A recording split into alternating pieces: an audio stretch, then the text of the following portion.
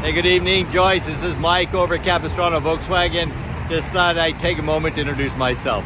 Uh, also wanted to show you that the Z4 is here and we're ready for you tomorrow to check it out and test drive. Um, and I did make a little mistake. I'm actually off tomorrow and I apologize, but I did ask my uh, office partner, Buddy, to expect you and he, I'm sure will be happy to take you on a test drive and do what he can to help you through the process. All right, well, give me a call, or actually, you know what? In the email, I'll uh, also list Buddy's phone number so that you have that handy.